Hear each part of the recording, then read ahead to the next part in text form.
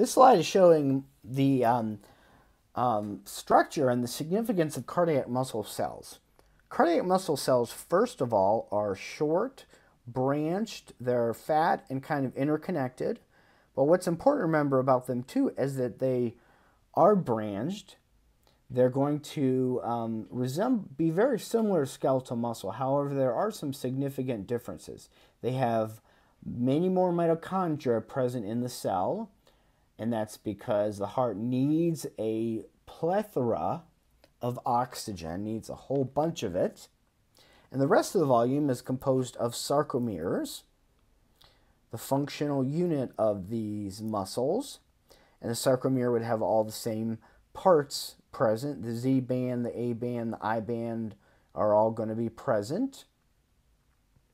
And the um, most significant part of cardiac muscle is what's called the intercalated discs. And the intercalated discs are made up of two major structures called the desmosome and the gap junction. Desmosome is going to allow the cells not to rip apart when there's extreme contraction of the heart, and the gap junction allows ions to pass quickly from cell to cell, predominantly calcium. And the reason for all this is because we want an entire region of the heart to work as one coordinated unit. And that coordinated unit is called a functional syncytium. So the word syncytium means one unit. Think how awful it would be if only a region of your right atrium contracted. You want your entire right atrium to contract as one unit.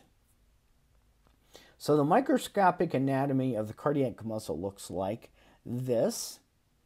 So under a microscope, it's going to look a lot different than skeletal muscle. The predominant different is, difference is the intercalated disc. Also, you can see there's some space between the cells. You wouldn't see this in skeletal muscle.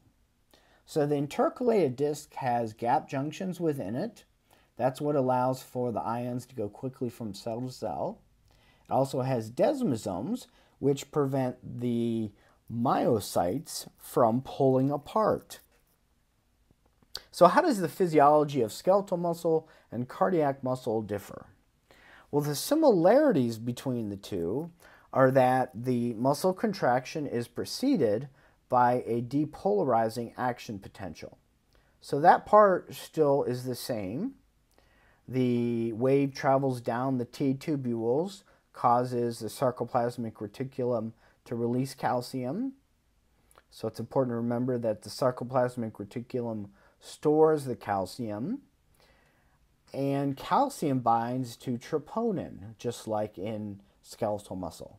But the way that they are different is that cardiac muscles are self excitable. In fact, if you take a cardiac muscle and you put it in a petri dish, drop some sodium on it or calcium, it will contract on its own. So skeletal muscle definitely cannot do that. The two kinds of myocytes in the muscle are contractile cells, and these contractile cells are the large majority of the cells. And then there's the pacemaker cells, which are the intrinsic conduction system of the heart. So the heart also is contracts as a unit, so that's also different. There's an influx of calcium, but first it comes from the extracellular fluid, not just the sarcoplasmic reticulum. And a way that that applies to patients is a lot of times when they're suffering from heart failure, one of the medicines that's first given is something that increases the amount of extracellular fluid calcium. Another thing that happens is tetanic contractions cannot occur. You um, remember that uh, from skeletal muscle, tetany occurs because various skeletal muscles contract, the action potentials add up and combine to produce a smooth muscle contraction. This doesn't happen here because there's a longer absolute refractory period, which prohibits another cardiac muscle contraction. The other thing is that the heart relies on aerobic respiration, and this is evident because of the large amount of mitochondria that's present in cardiac muscle versus skeletal muscle. So it absolutely cannot function without oxygen. This table is summarizing the key differences between skeletal muscle and cardiac muscle.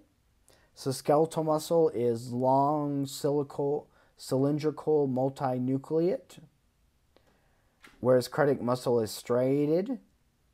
It's um, short branched, has one or two nuclei per cell. There's no gap junctions in skeletal muscle. Cardiac muscle does have gap junctions. The uh, T tubules are abundant in skeletal muscle, but there's less in cardiac muscle because they're not needed. Calcium comes from the sarcoplasmic reticulum only in skeletal muscle, but it comes also from the extracellular fluid in cardiac muscle. So let's look at the pacemaker cells here that are present. The pacemaker cells are going to be cells that can depolarize kind of on their own.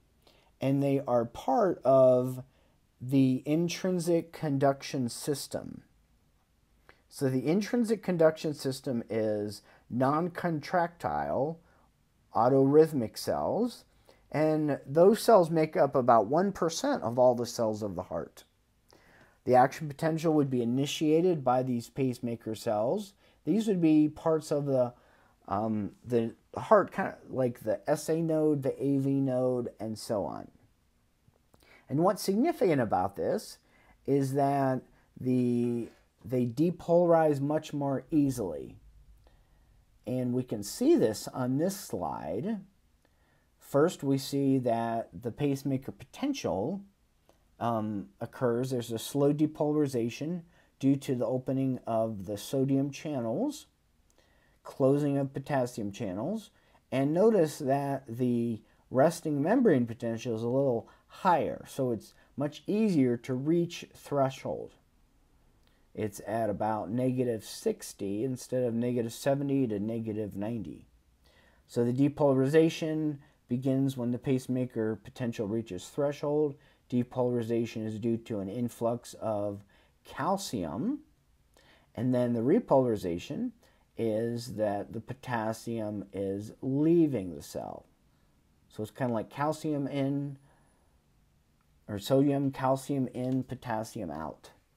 So these pacemaker cells are present in these five different areas. And the normal sequence of excitation should be that the SA node, the sinoatrial node, should fire first. When it's malfunctioning, there is an artificial pacemaker usually that's needed in that case. And that spreads action potentials throughout to both atria. You can see arrows going down the right atrium as well as to the left atria. The impulses then pause at the AV node and they pause to allow the entire mass of the atria to be depolarized first before the signal continues. Then it reaches the AV bundle and um, also called the bundle of His.